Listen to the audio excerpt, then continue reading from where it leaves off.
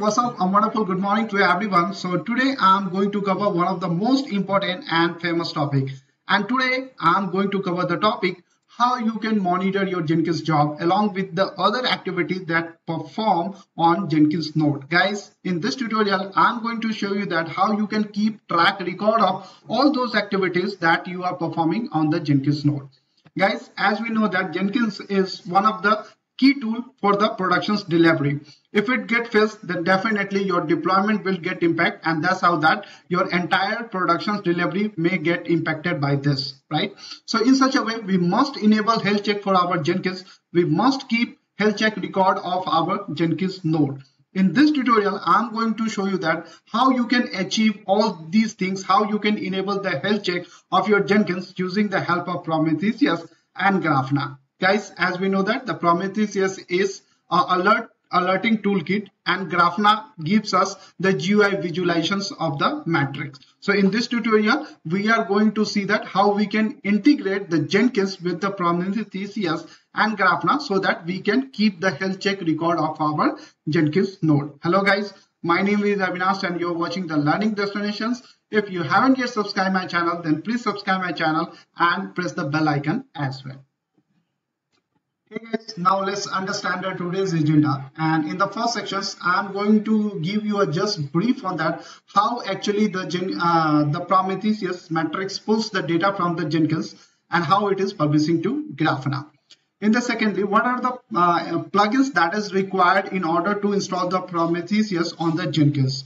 Third point, we will see that what are the configurations needed from the uh, Jenkins point of view for the Prometheus. Fourth number, we will see that how the Jenkins matrix is looking like through the uh, Prometheus plugins.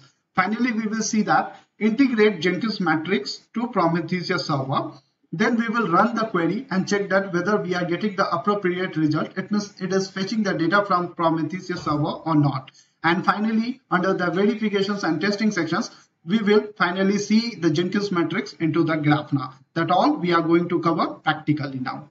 Okay guys, so under the practical sessions, now I'm going to show you firstly that uh, what are the plugins that is required in order to install the Prometheus server on Jenkins. So I'm going to log in inside my Jenkins node as of now. My Jenkins node is running on 109 and this is my password which I have already set. And after that you need to go to manage Jenkins. Then you need to go to manage plugins and under the plugin since I have already installed so I'm going to show you. The plugin call name is Prometheus.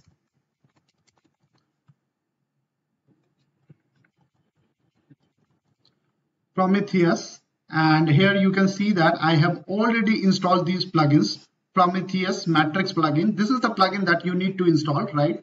So after installing this plugin then let me show you one more thing so you will get these options under the configuration systems.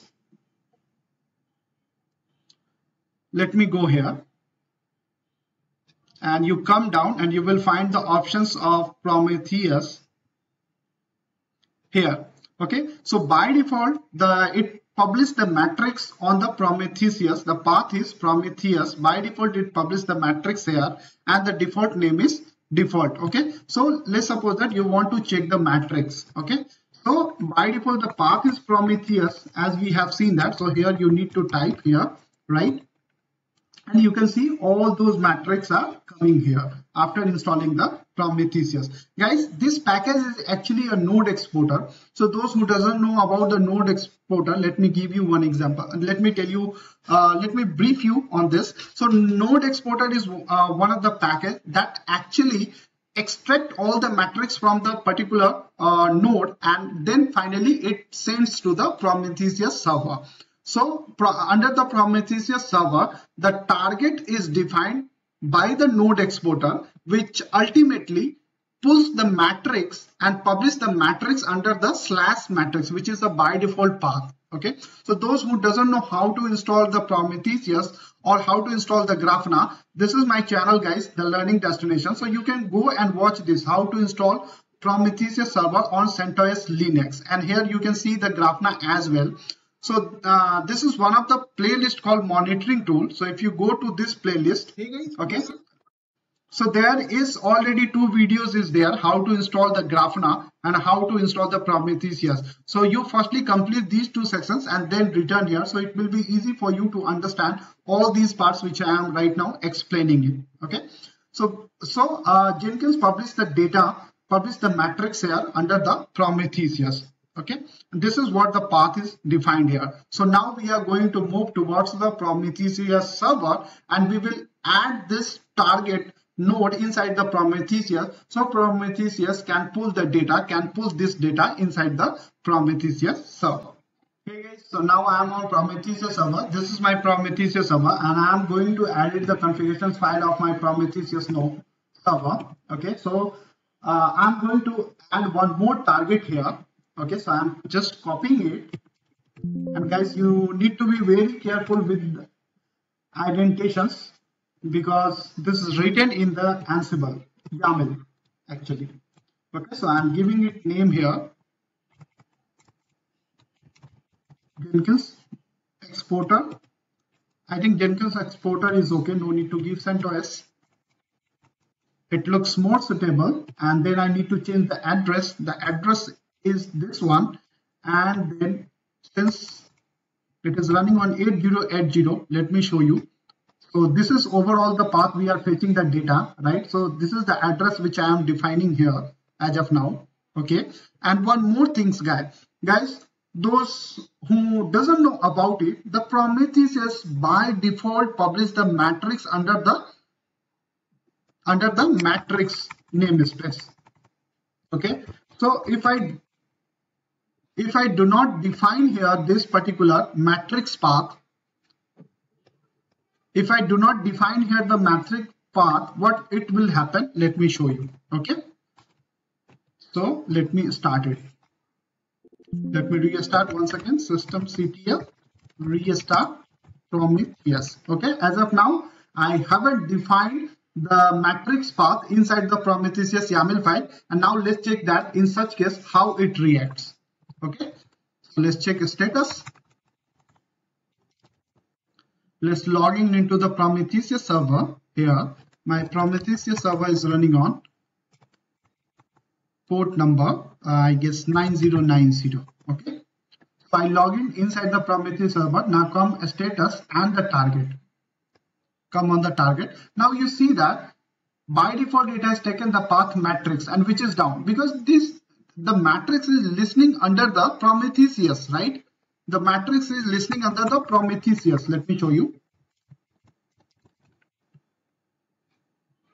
And it is searching on the path matrix because I haven't defined the part under this particular configuration file. That's why it is taking by default path matrix. So in order to uh, define the customized path, we need to define the exact path, which is Prometheus, right? So I have gone through the official website of Prometheus. Then I find this particular uh, options and that we need to mention here. So after mentioning it, then it will take the correct path.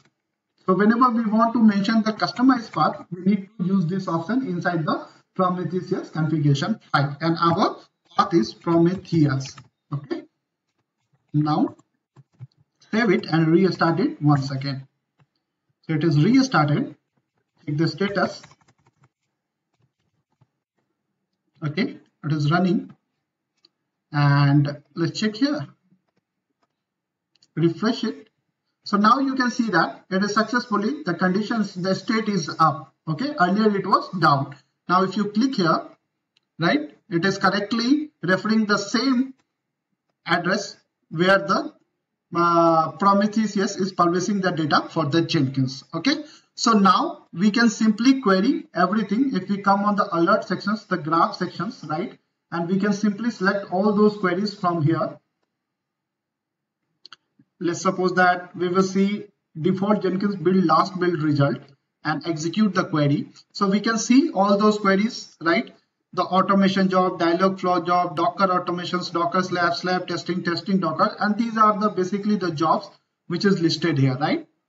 So in such a way, we can see that the data is successfully coming under the Prometheus and Prometheus server is successfully pulling the matrix from this Jenkins node from this Jenkins node into the Prometheus. So now in next sessions, I'm going to show you that how you can publish this data into the Grafana that will be look more good and more convenient. Okay guys, so now I'm going to log into my Grafana server and which is running on 3000 port number. So this is the draft, uh, Grafana dashboard. Okay, so here you go to explore. Guys, one more thing.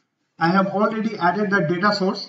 It means that I have already my Prometheus server, this one inside the Grafana. Okay, so those who doesn't know, uh, they have to wait, uh, they have to go through this particular. Uh, let me show you. So you have to watch this tutorial how to install Prometheus server on CentOS Linux. Then you will get that how I have integrated the Prometheus server inside my Grafana. Okay. So I have already added it. So I need to go to explore sections, right? And here explore, I need to run the query. So query section is already there. Okay. So let me run the same query default Jenkins and I can go here default Jenkins build result. Okay. And then I need to say execute run query. So here we can see all the status of our Jenkins job. So in such a way, there are various metrics that uh, you can run the queries and you can check one by one. So you just go ahead and play with all those options. So there are various options is provided by the Prometheus. So you can play with all these options as well. So guys, this is the overall process that how you can uh, install the Prometheus inside the Jenkins and where the Prometheus is publishing the metrics for the Jenkins. And after that how you can uh, integrate your Jenkins inside the Prometheus server. Okay? And then finally how you can publish the data inside the Grafana for better visualization. So this is all over the process which I wanted to show you. I hope your concept is pretty much clear now and definitely you will do yourself practice on this.